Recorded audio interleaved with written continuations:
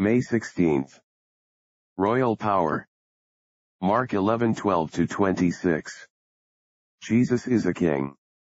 And as we enthrone him habitually in our lives he exercises his kingly power, the bad is put out, a positive distaste for it is put in, and all the natural powers are breathed upon till they come to be at their best. The body is made strong, the mind keen and clear, the heart pure, the spirit strong, and love dominates all our contacts with others. Let's yield habitually to his kingly power.